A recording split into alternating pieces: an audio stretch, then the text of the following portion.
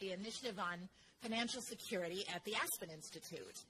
Uh, my joy today is to chair uh, the NASI Board of Directors, and I'm delighted to be here and to have the very pleasant task of introducing our speaker. Uh, from your agendas, you know our topic today, rather unusual uh, for NASI, is messaging social insurance, reframing the debate.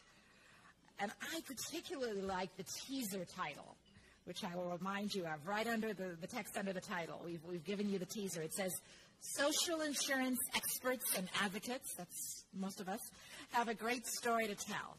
Why aren't more Americans listening and responding to it?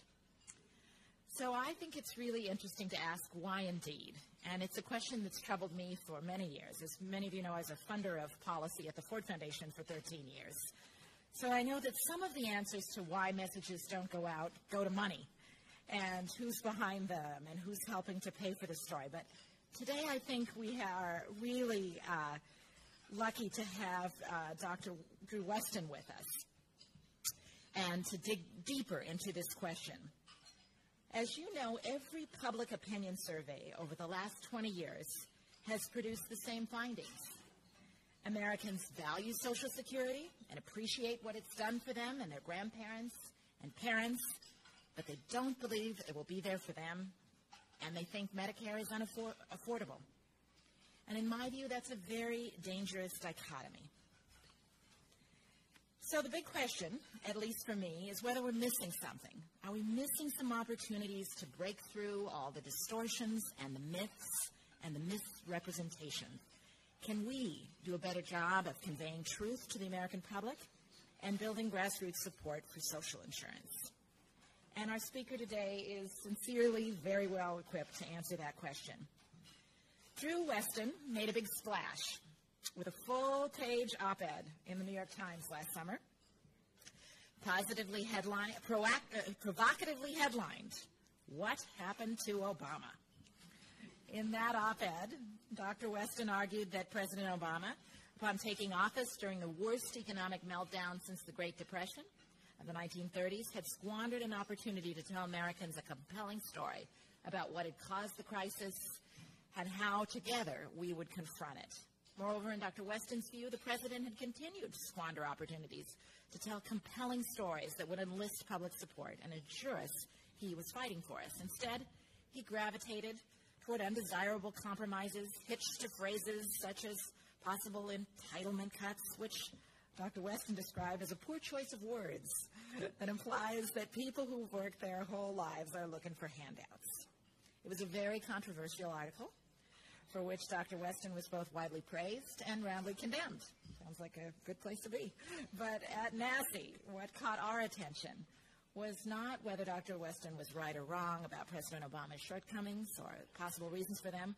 What made us want to invite you here today uh, was your forcefulness, Dr. Westen, and your clarity in making the case for powerful and sustainable messaging as an absolutely essential and prerequisite for any sort of progress, especially in the policy arena. And we are very pleased that you accepted our invitation. I've already warned him that messaging isn't the usual uh, topic, uh, but I think we're in for a treat. Um, Dr. Westen is a professor of psychology at Emory University in Atlanta and the author of The Political Brain, The Role of Emotion in Deciding the Fate of the Nation, a recent bestseller. He received his BA at Harvard his MA at the University of Sussex in England, his PhD in clinical psychology at the University of Michigan, and he currently teaches three courses at Emory, including the psychology of American electoral politics.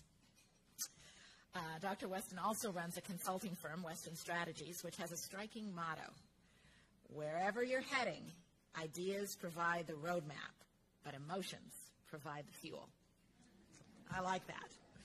And I think we ignore your uh, your motto at our peril. So we've asked Dr. Westen to speak for about 20 minutes, and then in NASI tradition, uh, to take a few questions. This is a group that likes taking questions. Um, so uh, without further ado, please join me in welcoming Drew Westen to NASI's uh, 24th conference.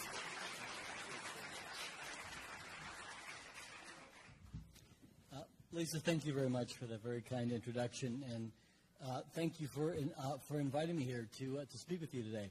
Um, in some ways, you just did a big piece of what I'm going to recommend, which is that you um, you told a story, and uh, one of the things that we don't do enough uh, with respect to social insurance is to tell the story of uh, of where it came from and why we had it. And uh, God knows maybe we wouldn't have been in the, sh- in the, in the place we're in now uh, if we had had some more effective storytelling uh, that was uh, explaining to the American people along the way in an evocative way uh, uh, how it is that we got to the situation where, where when people hit 65, they are only semi-destitute as opposed to completely destitute. and that they have the they, they finally have health insurance after the last 10 years of not having had health insurance. Uh, so, um, with that beginning, um, I'm going to, uh, as a psychologist and neuroscientist, I can't stop myself from beginning with an experiment. Um, uh, let me um,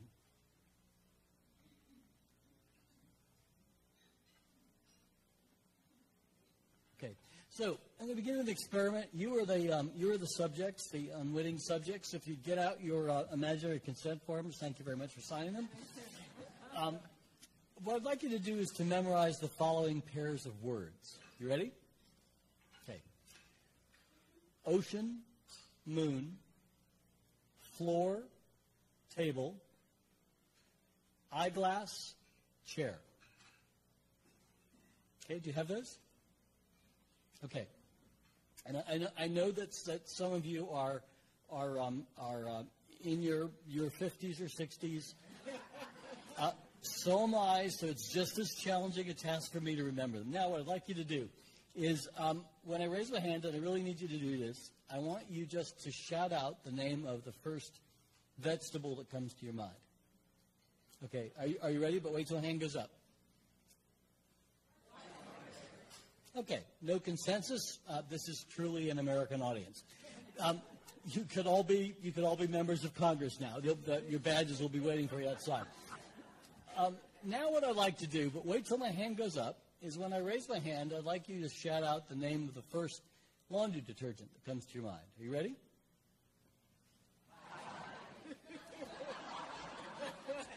I'm sorry you've been fired from the Senate. Um, uh, how many of you said Tide? How many of you said something else? We have a we have a neurologist waiting right outside there. Uh, the um, the market share of Tide is uh, is roughly forty percent. Uh, in a room, um, and I'm going to come back to the way I just said that in a second. Um, the, in, a, in a room from anywhere from uh, a boardroom with six, eight people around it to a, a room with 3,000 people in it, I can reliably get somewhere between 85 and 100 percent of people to say Tide. Now, here's the here's the question: How was it that I was able to do that? I wish we had time to do a little focus group because because uh, if I did that, you'd hear answers like if I if I just went around and said, "Why did you say Tide?" People say, "Well." I don't know. I just kind of picture the orange, that orange box, or uh, I think my mom used that when I was a kid, or that's what we use at home. Well, that's what we use at home only works for 40% of you. Um, I was going to say, by the way, uh, uh, or I could have said, the market share of Tide uh, is 41.32%. That is the kind of way of talking with the American people uh, that leads them to believe that um, Social Security and Medicare will not be there for them. Um, the, anything past the decimal, except in, um, in rocket science and, and nuclear physics, is usually really irrelevant and usually unreliable. Um, but we use that kind of speech all the time. Um, uh, those of you who, who, who, um, uh, who are in the business world probably know that you would never use that kind of language in an advertisement. Um, it is typically a problem of people towards the left uh, who, uh, who tend to like to use to quote facts and figures. And one of, the, one of my main points today is going to be that, that, um, that uh, you want to be using the same kind of science in learning how to speak to the public about social insurance as you use in your actuarial, actuarial tables, because in fact, you can have the best policies in the world, uh, and uh, they will gradually get eroded or destroyed if you don't use the best available science to figure out how it is that you talk with people about them. And that's something that, that the opponents of this group know extremely well, uh, and they've been practicing it for a very, very long time. Um, uh, now, there's a, there's a, uh, if you want to know why you said Tide, for those of you who don't use it at home, you're not the 40%. Um, I actually uh, activated what, what uh, neuroscientists call uh, a network of associations. That is an interconnected set of thoughts and feelings and images, values, emotions, images, et cetera, as we'll see in a second, by beginning uh, with those word pairs, by saying ocean, moon. Because what ocean, moon does is to activate uh, a network that has ocean, moon, waves, tide. Now, ocean and moon, I said consciously, and by the way, the reason I gave you vegetable in the middle uh, was just as a, a, a, to clean your, clear your cognitive palate. I was just trying to distract you because uh, I didn't want any doubters in the room to say, well, I was thinking about ocean and moon. No, you weren't. Right? You were long past ocean and moon. Uh, I also never said waves or tide, but those were now at a higher state of latent activation in your brains simply because I'd activated part of the network. And by activating part of the network, it actually increased the activation of the rest. Uh, we know actually now from research in cognitive science that that level of that heightened level of activation actually lasts for at least a year. No one's done a study looking at how much longer it lasts, but it lasts for at least a year and can be detected uh, a year later. Um, when I then said laundry detergents, it activated all, fab, cheer, but you'll notice the point of intersection in the center is Tide, which was doubly activated, and that's why um, Tide was most likely to become conscious. None of this uh, is in your conscious awareness.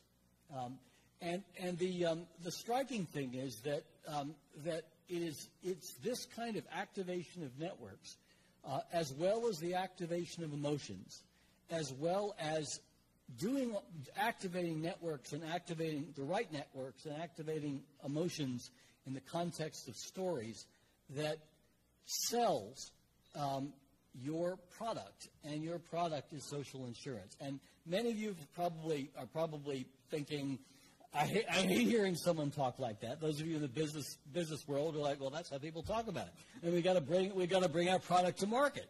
Uh, um, but talking about selling social insurance, um, uh, you know, it sounds like you're in good hands with Allstate. Um, and in fact, that's how you want people to feel about Social Security. That's how you want them to feel about Medicare, Medicaid, uh, unemployment insurance, workers' comp, all, all of the, the, the, the, the things that develop out of the New Deal and later out of the Great Society. That's what you want people, uh, people to feel. Um, I'd love to show you something, but I think I'm going to skip over a clip. I've got a couple of clips to show you about what happens when people don't do this. Uh, but I'm, I'm, going to give you some examples, and if I, um, uh, if I look, look like I'm looking over your heads uh, occasionally, uh, it is because uh, that's where the monitor is, and I'm using my aging eyes and realizing that I need to go see the ophthalmologist um, uh, to try to see what, what it is. But let me give you some examples. When you say global warming, what are you activating? I can tell you exactly what I thought the first time I heard the term global warming.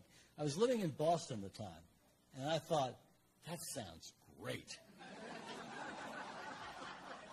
I, mean, I mean, maybe, maybe I'll actually get to enjoy an April someday. That, that's, what, that, that's what I thought. If you think about it, what are the associations to warming? Warming, warmth, hearth, home, uh, fireplaces. I mean, it's all good stuff. Um, that's not where you want people to be. You want them to be concerned about a phenomenon. Something that has emerged uh, recently that I think is actually really bad news for, um, for our planet and our country and really good news for the possibility of changing that uh, is that uh, people have begun to see extreme weather with their own eyes. And that term extreme weather carries none of the baggage in its overhead compartment uh, that global warming does. And I hope that term catches fire. Uh, uh, and I hope that, uh, that, that, some of the people who, who are, uh, who've been trying to work on this issue for years start incorporating that into some of their messaging or at least testing it because I have a feeling not only because it's more powerful language, but also because it's something that the average person can feel and see viscerally that it actually will move people. Some other examples. Universal health care. Uh, I led the efforts for, uh, for the, uh, the major nonprofits that were working on the messaging healthcare before the 2008 election. They were used by a number of the candidates. Uh, uh, it was led by, by uh, Families USA and the Herndon Alliance and AARP and a number of other groups. And what we found is that if you said to someone, um, if you began a statement with, I believe in universal health care, and then you outlined three principles, uh, and then uh, you measured how, against a tough opposition message, how likely they were to support it, you get about 50 percent. Um, if instead you began by saying, I believe in a family doctor for every family, 70 30. That's, and that's by saying the exact same principles, but simply primed, as I primed you with Ocean Moon, uh, priming a different set of associations. When you think of a family doctor for every family, uh, not only are you feeling that warmth that you feel with global warming, uh, but you are, you're also inoculating against everything that was used to try to kill off healthcare reform. Socialized medicine, a family doctor, a, a, a, a bureaucrat between you and your doctor. All that stuff which is very, very difficult when someone says, uh, well, you're for, you're for a bureaucrat between you and your doctor. And you say, wait, wait, wait. I told you I'm for a, a family doctor for every family. Uh, how do you see a bureaucrat in that room? The only way a bureaucrat gets in that room is if a health insurance company gets in that room. And then they're, they're in a position that they don't particularly, uh, particularly want to be. Uh, the, uh, another, actually, one other thing I'll mention about that, about, about universal health care. Um, uh, and um, this is another principle of messaging I've learned from a number of years of research in this area, which is on issues that have a racial charge, it is better to get them out in the open rather than to let those issues, let, let the, the, the, the racial prejudice fester.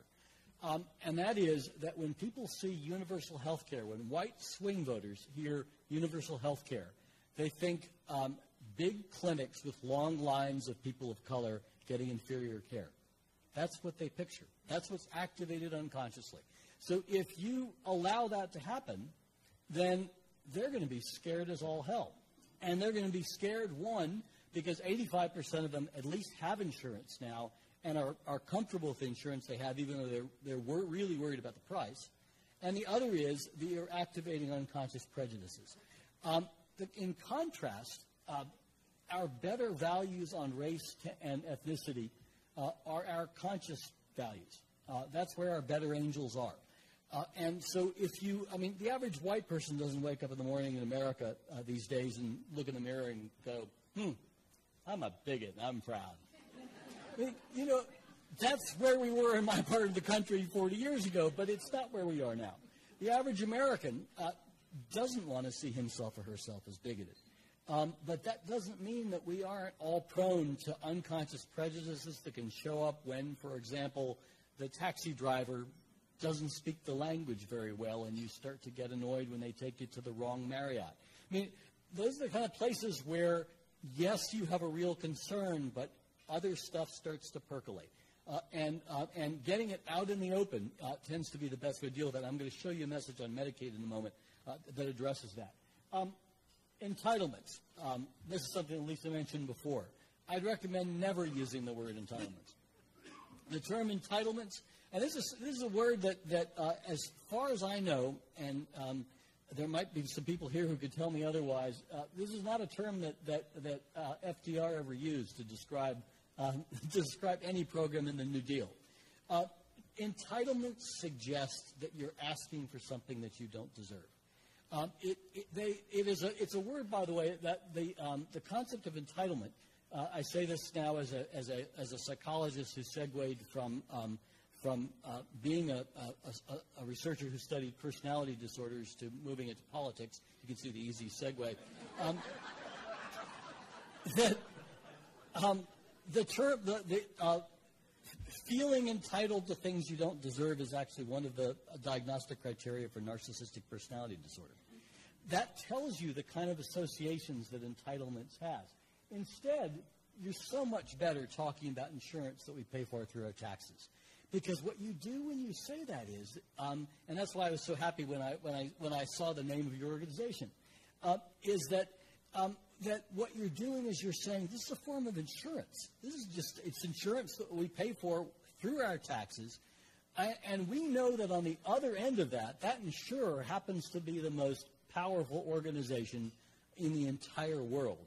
Uh, and um, they're not going to go bad for their debts. And we're not making good use of that we're not making good use of that story of who is on the other end of those premiums that we pay. And again, I'm going to show you a Medicaid message in a moment that gets at that issue. If I can, uh, if I can do my best not to uh, to evade looking at our timekeeper. Um, so um, uh, I'll I'll end with Medicare recipients. As soon as you say recipients, you're making people sound like they are passive receptacles for government waste and fraud. I mean, that's, that's what you're doing. You're saying, these are people who just want, gimme, gimme, gimme, gimme, gimme. Um, if instead you say, people who rely on Medicare for their health or for their health care, everybody gets it. But now, if, uh, and, and this is something that I can't emphasize enough. Whenever you're tempted to say things like the unemployed, never say the unemployed because what you're doing is you're taking peop- real people with pain-lined faces and, and histories that if you listen to them um, uh, would, would, would put a lump in your throat.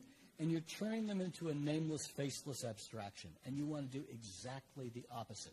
Uh, and anytime you can turn something around so that it is people who, then it becomes about real people. So people who've lost a job through no fault of their own. That's very different from the unemployed. Um, so let me move ahead. Uh, three principles of effective messaging, and this is going to be one of my subliminal slides that I'm going to go through quickly. Um, one of them is tell a coherent, memorable story. We are a storytelling species. We evolved that way. It is not an accident. We, that we uh, uh, emerged as a species about 150,000 years ago. If I were going to do the usual thing on the left, I'd say, of course, scientists debate based on the carbon dating evidence, the, uh, uh, the, uh, carbon dating evidence, whether it was really somewhere between 125 and 175 years, 75,000. Some even think that if you look at the remains in Africa, don't need all that. We've been around for about 150,000 years. It was not until a few thousand years ago that we saw the first evidence of any kind of literacy in cave dwellings, uh, in cave walls. And it was not until the end of the 20th century that for the first time more humans were literate than not. What does that mean? It means that how was it that, that our species managed to pass on knowledge and values over, over, over millennia? We did it through stories. And it's not an accident that the great monotheistic religions that emerged over the last 5,000 years, all of them, their holy books are written in parables. Why are they written in parables? They're written in parables because people remember stories. And I'm going to show you an example of that in a moment. And actually, Lisa illustrated it when she sort of told you the story about why um, I was um, I was asked to be here, and which you may come to regret. Um, the um, there are, there are one of the things that I've learned from uh, from doing uh, doing messaging research with now about sixty or seventy thousand Americans over the last five or six years. Um, uh, some through focus groups, some through online dial testing, where you have people uh, listen to to a series of messages while they're moving a slider this way if they like what they're hearing, and moving it this way if they don't. And what you get is, is what looks like what I see. It, it looks like what you see, saw during the State of the Union address, uh, where you could see the dials moving up and down at, at, at, uh, at different points. Um, one of the things that I've learned is that there's a structure to an effective political narrative uh, uh that uh, I would recommend that you think about and use, and that is that you always start with something that connects with people in the center who may not start out with you. Um, it's usually a value-laden aspirational statement. Sometimes it's a it's directly something that addresses their ambivalence about what you're talking about. I mean, people are ambivalent about social insurance, and in part that's because we haven't done a good enough job selling it, and in part it's because there's some foes of it, foes of it who've told some really good stories about it, like that Social Security is insolvent. Um, the, the, um, and they've done a better job of t- telling those stories. Um, sorry, it's, that's not connecting with my audience. Uh, but I've already been talking with you, so now I can tell you the, tell you the bad stuff. That gets to the middle part. That's when you raise the concerns. Uh, once you've connected, once, this, once, once people, your listeners are saying, oh, you know, this is someone who, who's making some sense. This is someone who shares my values. Now you tell them what your concerns are. And you do it in as evocative, visceral ways as you possibly can.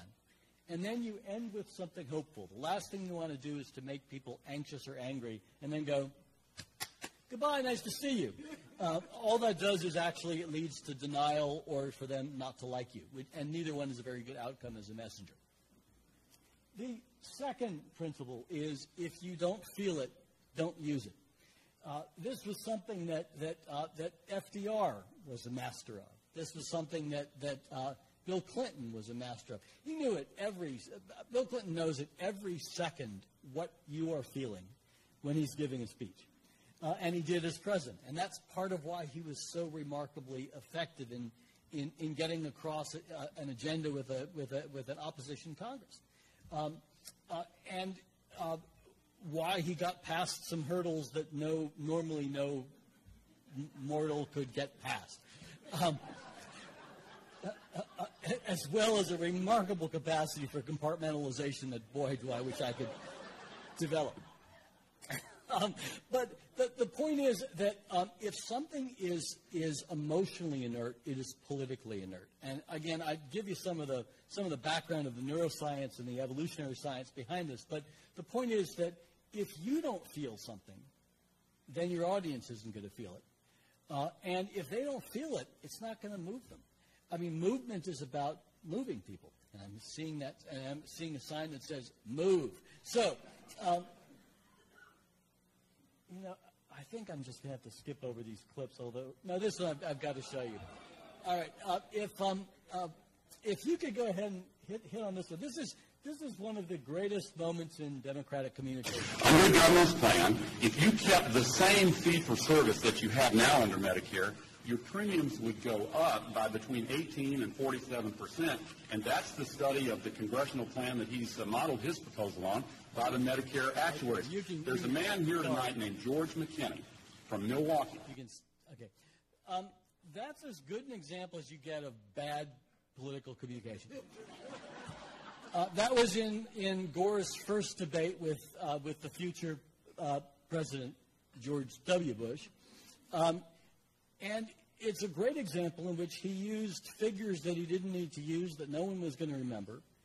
He reinforced the story that he was kind of a technocrat who really didn't care much about people but cared a lot about numbers.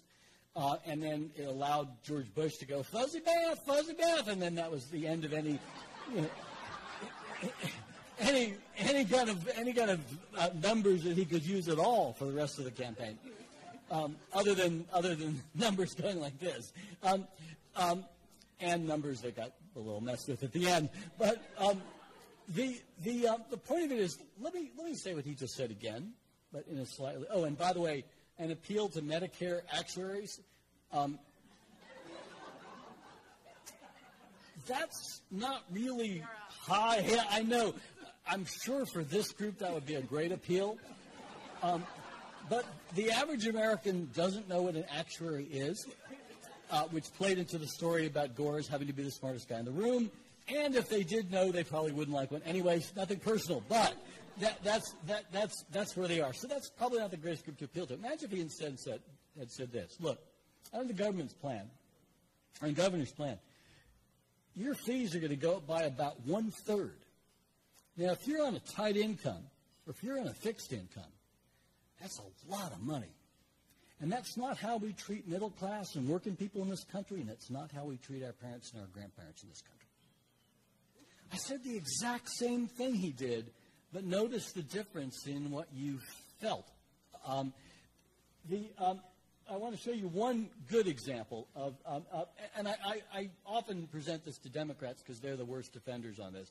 Uh, uh, Republicans, in part because they tend to come from business uh, or from the, from the pulpit, uh, tend to be much better on messaging. Uh, they know to tell a story and they know to market it. I mean, they know that. I mean, they know that you're taking you're taking policy ideas to market. That's what you're doing. Um, and again, that's not how we like to think, many of us who are on the Democratic side of things, but that's the reality. And if you, if you have ever listened to one of Franklin Roosevelt's speeches, um, uh, he could tell the most complex, talk about the most complex ideas that were so far from people's imagination of what government could or should do. And he sold people on them in a way that they said, I like it, I like him, I trust it, I trust him, let's do it. Uh, and that's what we have to be doing uh, uh, uh as, as, as his heirs. Um, so I want to show you, this is, um, this is one of the best times, best responses I've ever seen by a, a, a Democrat. I'm just going to show you the first 10 seconds of, of Jim Webb's response to this. When I graduated from college, the average corporate CEO made 20 times what the average worker did. Today, it's nearly 400 times. In other words, it takes the average worker more than a year to make the money that his or her boss makes in one day. Okay, if you could stop. All right. Now, isn't that powerful? And that's filled with numbers, right? So, um, why is that powerful? Because he's activating values and he's activating emotions. He's activating the value of fairness. And that's all about what the president tried to do in his State of Union address this week. It was all about about, uh, about trying to activate the value of fairness. Now, the question you might ask is, given the history of Democrats uh, after Roosevelt uh, being uh, typically so awful at messaging, why was it that Jim Webb, who had been a senator for two weeks at this time, uh, was able to give, uh, I think that for the first time, I think it's the only time I've ever seen the response to the State of the Union address eclipse the State of the Union address in 2006? Um, it's because he used to be a Republican. Anyway, if, if we. The, my point is not that we should dumb down our messages. It is that we should increase their emotional intelligence. I'm going to uh, end with, end with a, a, point on this slide, and then I'm just going to show you a couple examples, and then I promise the timekeeper that I'll stop and leave uh, time for us to talk. Um, know what networks uh, you're activating. Uh, and I've already, I've already shown you some examples of that, so I won't get into that, but I will get into it in the, in the examples, in a couple of examples of, of some effective messaging on Medicaid. So, um, a methodology for developing effective messages. Um, I, I, the only thing I'm going to say about this is because I, I, don't have a lot of time to get through the details, but, but what, what I've learned over time is that one of the most effect, that, that one of the most effective ways to think about about messaging is the same way you think about policy, and that is how do we use our best scientific methods to figure out how to talk to the American people about something that somebody else is talking to them about from an opposite perspective and that they may not naturally grasp. How do you do it? And one way is to study the existing polls, to figure out what's worked, what's not worked, study the policy, and this is something that I'll, i do routinely on, on issues, um, then to do this kind of online dial testing that I described uh, a moment ago with large representative national samples so that um, you're watching a thousand people or several hundred people if you split your sample responding to a message. So now you can say, oh, I see. That phrase didn't work. And you can try to figure out why it is that it, that it didn't. Just to give you one very quick example, I was doing some work on, um, and this is a pretty striking one, uh, that uh, I was doing some work on um, on, uh, on, this was before gay marriage had passed any of the states. Uh, and I was doing some work on gay marriage and civil unions. And I, I, a couple of messages I was testing were messages that, that, that used fairly standard language about people being able to visit the person that they love by their bedside. Uh, and I noticed something odd when I looked at the dial test, and that was that the dials went up like this, and then, uh, and then there was a drop at the end. And I thought, well, that's really odd. This is a kind of uncontroversial statement that people ought to be able to visit people they, they love the most at their bedside in the hospital. And then I thought, wait a minute. And I clicked a little button and stratified by gender. And I looked at the men versus the women. And the women went straight up. And the men went straight up. And as soon as I said bedside, they went down like this. What I had inadvertently done was to activate in males, um, I had put gay and bed in the same sentence. And it activated in males what gay activists and advocates call the ick factor. Um, and simply by, you'd think the context would, would get rid of that, but it didn't. So um, in the next round, I tested it with uh, by their uh, uh, in their in their room by their side at the hospital, women, men, dials looked identical. Uh, that's how much something that small can make a difference uh, in your messaging. Uh, so let me conclude with a couple of um, a, a couple of examples. These are these are lessons from Medicaid. This is research that that that I did for First Focus. Uh, uh, on the, the other side of, of, of the age spectrum, uh, many of you probably know First Focus is an organization that works for uh, advocacy for children. Um, the numbers that you see in parentheses, uh, these are brief um, talking points, for want of a better word. They're the kind of things that you can use when you're on television with Chris Matthews and you get that six seconds in before uh, Chris cuts you off. Um, um, but there are also things that you can pepper in speeches. They are going to be the applause lines. I can, I've heard that from many members of Congress. Um, uh, that, but the numbers in parentheses are the, are the percentage of voters in a large national sample who preferred this message to, an oppo- to the strongest opposition message that the other side was actually using. And you're seeing some extraordinarily large numbers in the 60s and 70s, which is very unusual. Uh, but if politicians want to cut somebody's health care, let them start with their own. There's one that appeals to people. if our leaders want to make sure Medicare and Medicaid are financially sound, there's one way to do it. Put Americans back to work so more people are paying their premiums again, and let millionaires and big corporations pay their fair share of taxes, taking off on a populist theme.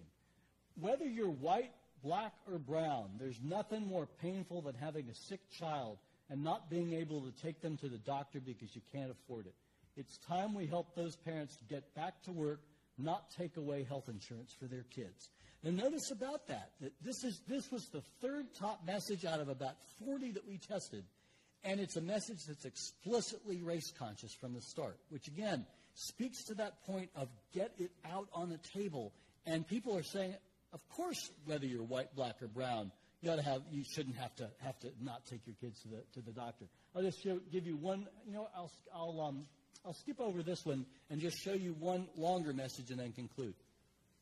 This is more of a narrative, and this is a narrative for this project was for Medicaid in particular. And I want to I'll emphasize a couple things about it after I read it to you. If, uh, a couple things about it. You'll notice that 76% of the people, if you look top right uh, uh of your uh, of, on the screen, 76% said, gave this a 60 or above on a 0 to 100 scale, which means this is a home run message. 54%, uh, um, uh, over 50% gave it an 80 to 100, which means high emotional intensity. Beat the opposition by 45 points with swing voters as well as with the general population. And again, this is a message that, that is directly race conscious, but it's also saying something about taxes that you're not going to expect to hear. Here's, here's how it goes. Medicaid is the last resort for most Americans when they need health care, whether they're poor, middle class, old, young, white, black, or brown. It's the place millions of Americans with disabilities and children from low income families turn for their care. By the way, that's something that most people don't know. Um, it's the place millions of our seniors turn when they need long term care that Medicare doesn't cover. And it takes care of about two thirds of all people in nursing homes in America. Another thing they don't know.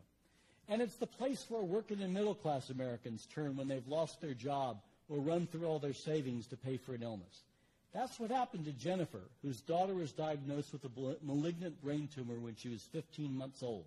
Jennifer had to quit her job to take care of her baby through months of chemo and hospitalizations. Her family could no longer afford health insurance, but we as Americans pitched in through Medicaid and today she has a beautiful, healthy four year old girl. Jennifer's story makes me proud to be an American. Her daughter is alive because we were there.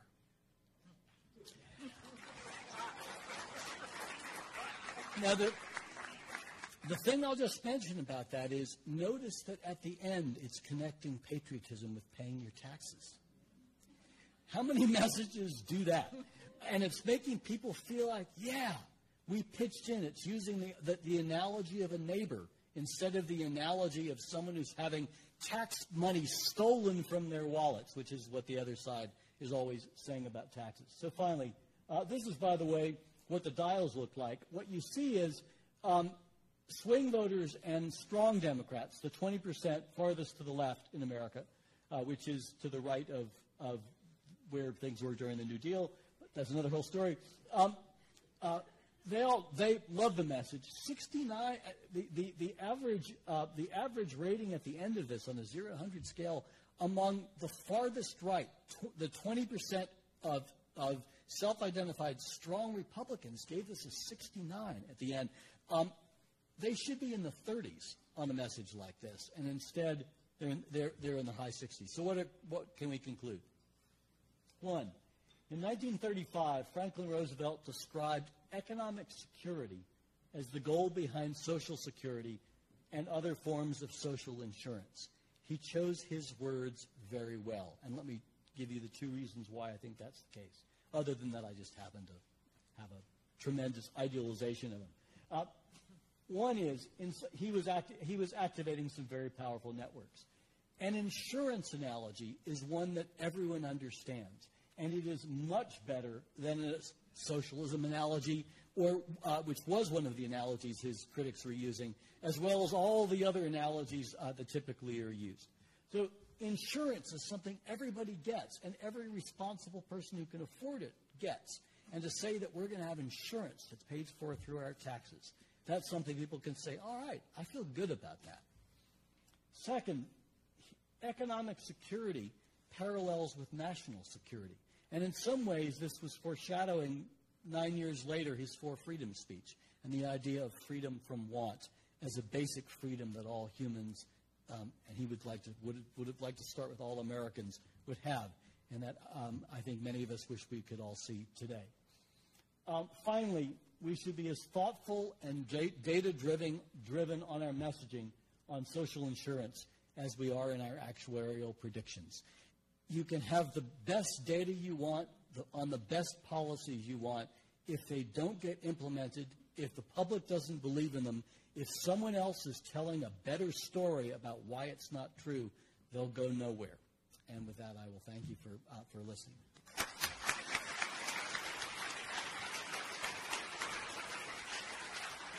Great. Thank you, Drew. We're not going to let you go too far because we're going to have a few questions. Uh, you, NASI folks know our policies. We got a couple of mics and a roving mic. Lisa's got that back there. Can I start though? I, I want to go back to that very fun Tide example. And I, uh, I have never used Tide, and here I was shouting it out. Uh, so uh, here's my question for you. I really work for Procter & Gamble. I just have to disclose that. Wow. Um, my paradox that I was posing about people who think Medicare has been great for grandma but won't be there for me. When we're feeling like there are misstatements or truth, uh, you know, things that aren't true, and we feel like we're fighting against uh, tide, we feel like we're fighting against something that's already locked in, in minds. What's what is some of, what is the what is the prescription that you would say? And then I'm going to sit down and I hope others are coming to them. It's a great, it's a great question. Um, and I'll answer it two ways, and, and, I'll try to do it briefly, even though I'm an academic, and, and uh, it's not in, as um, President George W. Bush would have said, my NDA, um, or my, my, my, my AND, I, I mean my DNA. Um, um the first answer is um, we should do our best not to get ourselves in a position where we're fighting against the tide. And that's been our mistake over and over and over again. Um, the second is that the best, uh, the best response to a narrative is a counter narrative. Uh, and the best response to a sticky statement, those of you who, who are, are in business and understand marketing, that concept of stickiness, the idea of something that when you say it, uh, whether it's a tagline, a slogan, whether it's an image that is iconic, it sticks in people's minds. We need sticky statements. Um, uh, those kind of, uh, um, I now sound like um, um, like a, like a like a Monty Python um, uh, routine, but we need sticky statements. We, we, we need um, we need statements that stick, and that's what the other side always uses. Uh, and it's what it's what um, one of the things that when, when I do when I do messaging work in this kind of area, I always test those broader narratives because those are one of the things that we're always missing. But I also always test those kind of brief talking points now, and I learned that simply by, uh, frankly, mostly talking with members of Congress, who if you um, if you show them those first, they are hooked because they realize that's something I can insert in a speech and someone will get it and it will stick. And if you use it over and over, it will really stick. And then the broader narrative is what you want people to have to gradually build. And if you think of the person who did this most effectively, it was really Ronald Reagan. Uh, uh, Reagan was, or, or certainly, uh, um, I think probably he and FDR were the two were the, were the two best communicators this way. And that was that Reagan didn't start with government as the problem, not the solution. He got there so that that became a, a, a, a very brief, sticky encapsulation of a much broader narrative that he was telling about the New Deal paradigm.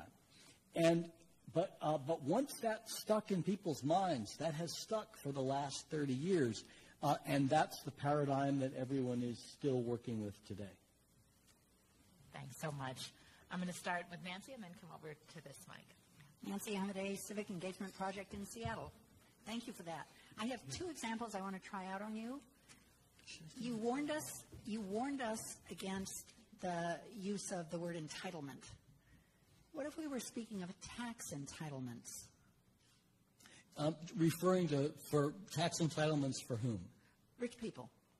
Uh, yes, that's that's a great use of entitlement because now you're now you're turning it on the other side. Okay. Um, so uh, that that works, and it's the same thing, by the way, for if you you for example uh, don't want to see um, tax hikes on the middle class, mm-hmm. um, then you call them tax hikes, or if you want to see if you want to see um, uh, see tax increases on the very wealthy, um, you don't call them tax cuts because tax cuts sounds like a good thing. You call them tax breaks tax loopholes. You use all those kind of tax entitlements, evasions, all those kind of words that convey what, you're tr- what it is that you're trying to convey. So that's a great example. The second example comes from something in our area in Seattle where people who care about housing and homelessness tried out a message with people which was everyone deserves a safe, affordable place to live. That went down.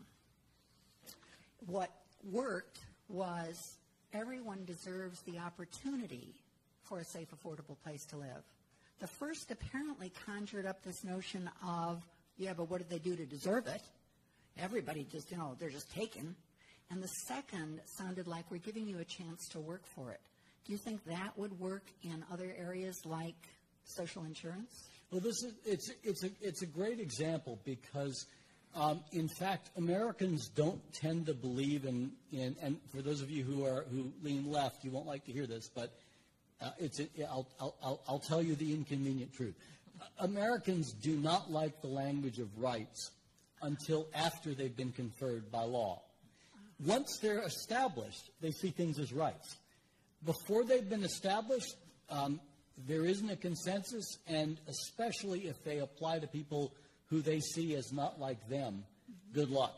Uh, and that's why you pair, they have the right to, or they have the, you know, the entitlement to, or they have the, um, uh, what was it? Deserve. They deserve.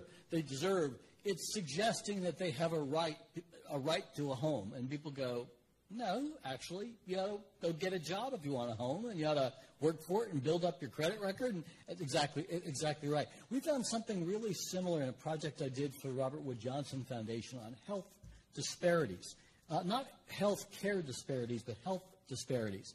Uh, uh, between, for example, people of color, particularly uh, African American and white people.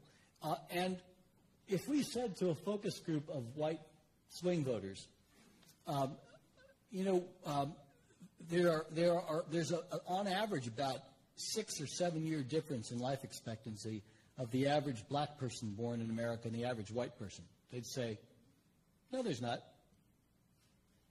We'd say, well, actually, those are the census data. They go, no, they're not. and it didn't matter what we said. They, they, they simply they simply rejected rejected the information, uh, and and they were ready to move on, or they would start coming up with the reasons for it. They'd say, well, you know, if they'd stop going to McDonald's all the time, then maybe they wouldn't get so fat, maybe they wouldn't, you know, and it went off into all this kind of stuff. Um, what we learned was if instead of using that kind of language, uh, uh, in that case, um, uh, appealing to the facts-based community was not helpful. Uh, what was helpful was was um, was to begin with a with a um, with a statement that everyone ought to have the opportunity to make the choices that allow them to be healthy.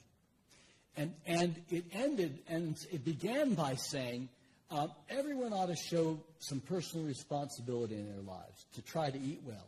But you know, and, and this is a case of where we use what, what, we, what we call, and I, eventually, I, I learned later uh, from uh, Tony Blair's political team, they use exactly the same term.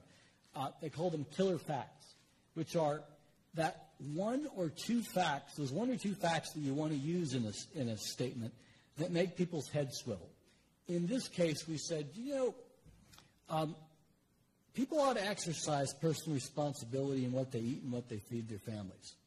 But in the entire city of Detroit, in a 150 square mile radius, do you know there are only five grocery stores, but there are hundreds of convenience stores?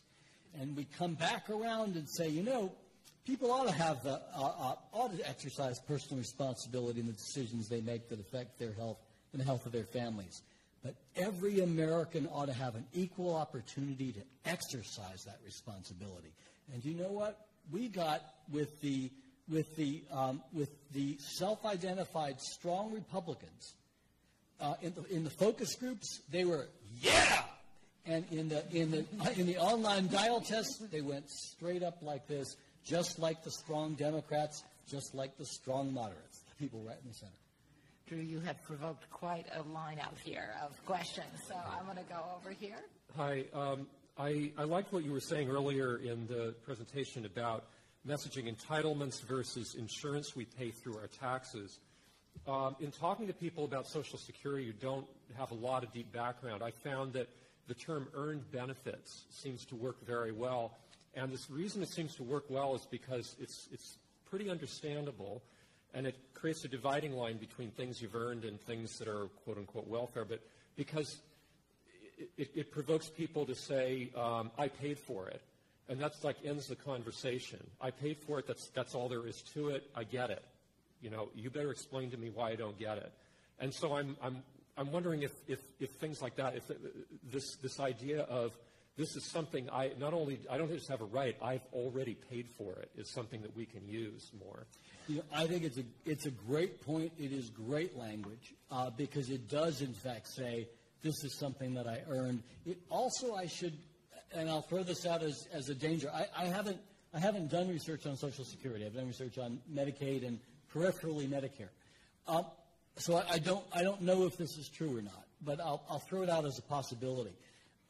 One of the I think as policy people, you want to think carefully about any ways that you change Social Security that involve um, cutting back uh, in various ways on Social Security payments to people who are relatively wealthy uh, or who are upper middle class. And I'll tell you why I say that. And it runs against my some of my values and runs with some of my values.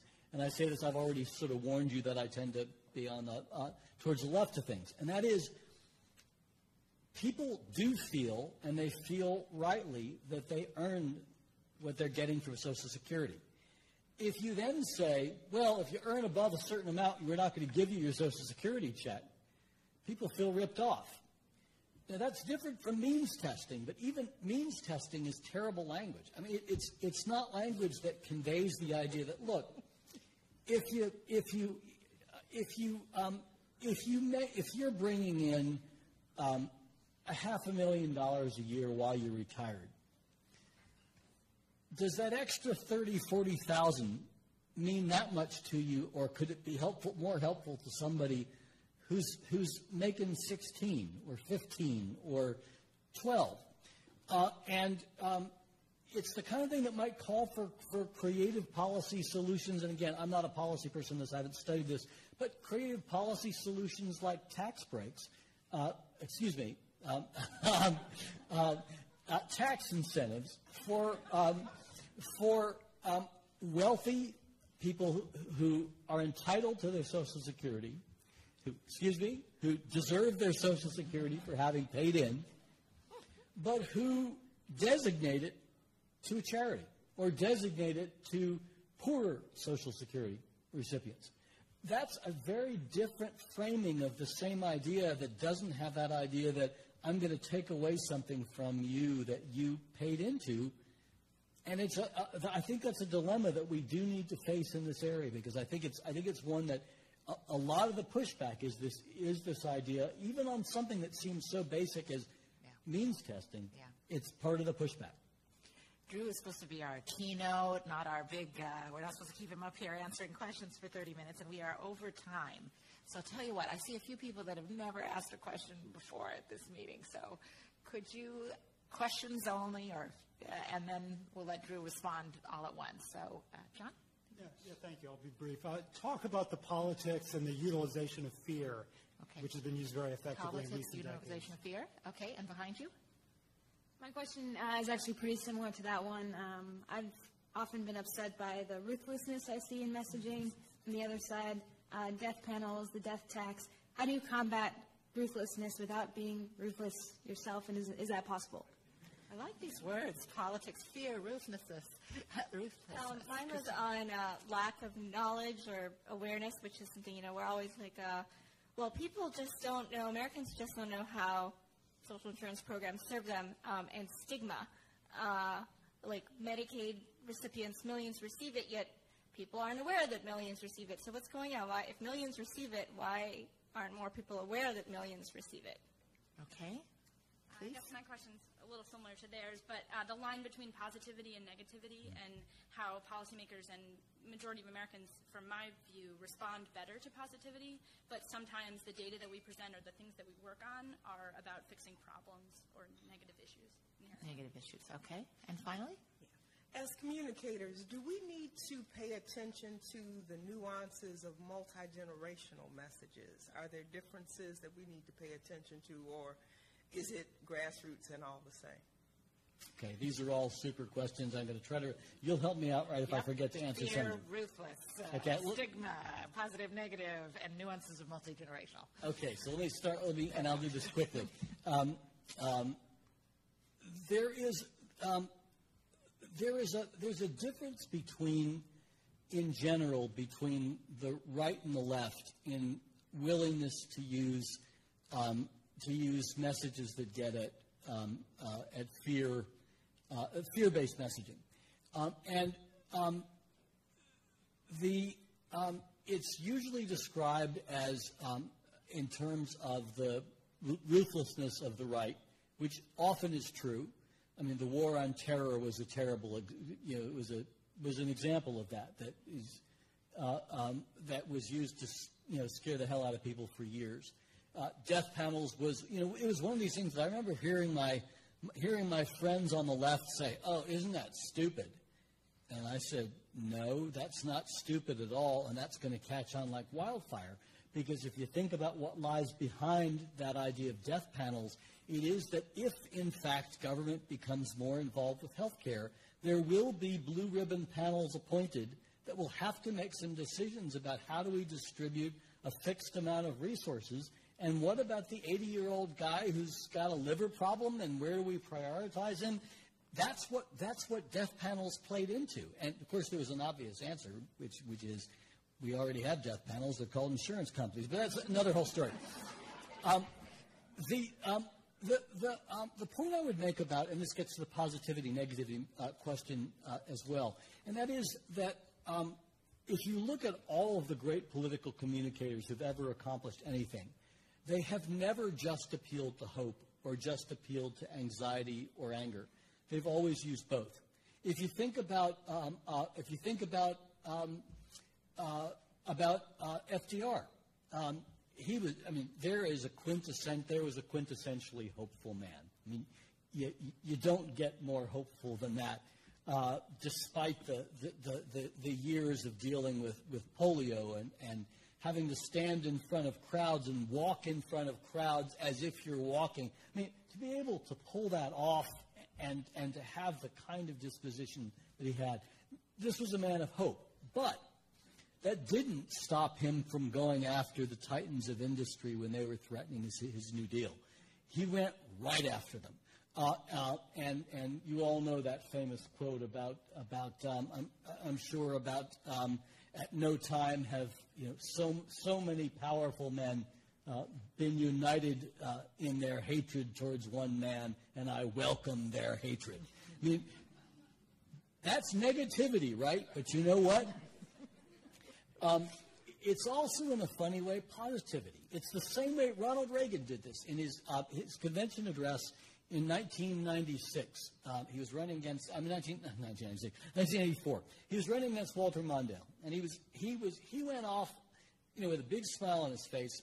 And then it goes to, it goes to kind of sour. And he says, and the liberals and the Democrats, they want to do this and this and this. And he goes off on all the spending they want to do. He says, and they're spending like drunken sailors. And he stops. He goes, now, now wait, wait. That's, that's, that's not fair to the sailors. and, and everybody, everybody laughed.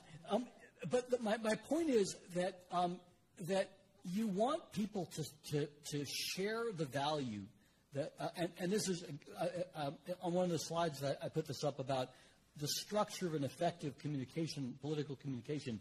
You want them to start out in a place where they connect with you, where they go, yeah, all right, this is this person who's speaking my values. This is a person who's speaking my values and my interests. Um, if you don't tell them what the dangers are, you are failing them. And if you don't do it in a way that's evocative, you're failing them because then they're not going to worry about them. Uh, um, that doesn't mean that you have to demagogue it, but it does mean that you want people to be anxious about what happens if someone who's trying to destroy Social Security has their way. But you want to end with something hopeful that they come back to and they say, all right, there is a danger, but there's someone who's got my back, and I'm, I'm, I'm with them on this one. And that's where you want to be. The last thing I'll just say about positivity and negativity is people respond completely un- differently, unconsciously and consciously, to positivity and negativity. And I, I, I, won't get into the studies that I've actually done on this. We did one for Anderson Cooper 360 of the Hillary Hillary's um, 3 a.m. ad against Barack Obama and of uh, the MoveOn.org ad, uh, McSame Bush, uh, where what we found was that people said they hated both ads, and they both activated exactly the associations they were aimed at activating. And Hillary's, in fact, was actually the, the, their conscious attitudes um, correlated with their exit poll results, which said they thought that what she that she'd run an unfair campaign in Ohio where she ran that ad. Their unconscious attitudes predicted their voting behavior in, in, in Ohio, which is that they voted for her over Barack Obama. Uh, so the the, um, the last just comment I'll make on that is uh, you don't need to even know all of that, the, the, how, how we did that, what the science was behind it, other than to look at, uh, at um, the Republican primaries this time and look at the effect of positive versus negative ads. If Newt Gingrich, when Newt Gingrich decided n- not to respond to the attacks in Iowa, I was flabbergasted that such an experienced politician could be so stupid. Uh, because if you let people attack you, and this is true, by the way, of Social Security and Medicare, if you let people f- attack you, you are essentially ceding those associations to the other side so that all that's in the brains of, of everyone out there are the associations the other side is building. So you can't afford to do that. Uh, on the other hand, of course, you don't want to be a messenger of, a messenger of doom who becomes associated with, with, with the negativity. And that's probably what Gingrich was trying to avoid because his pollsters probably told him, you know, people don't like you very much. Uh, so you probably shouldn't be too negative. And that's, that's why he did that. But boy, did he turn things around by going on the attack, and it won for him. And it seems like it's going the other way with Romney. Thank you so much. Thank you so much. We're going to quickly bring up the next and last panel, and Uh, and you break while you're while we're switching up here. We'll get started at 2:30. Thanks.